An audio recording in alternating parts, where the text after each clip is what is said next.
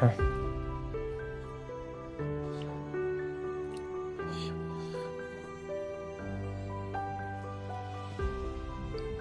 Hầu anh